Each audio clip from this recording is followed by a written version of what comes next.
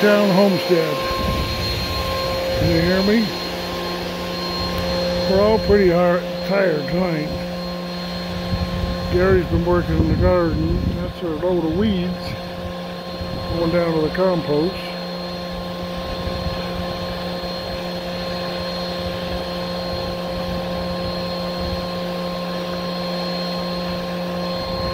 And uh, Mike has got this whole bundle here pretty well done in. Uh, you remember what that looked like this morning? Quite a change. Quite a change. I've been on my feet all day running the planer and the table saw making stickers. Feels good. Feels like I'm tired, but feels good.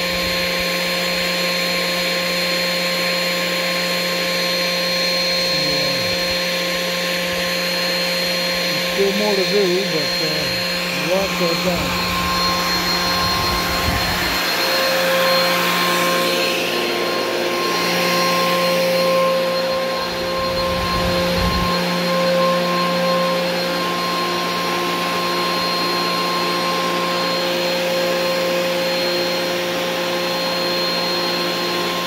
Stacking and stickering. Hey, God bless.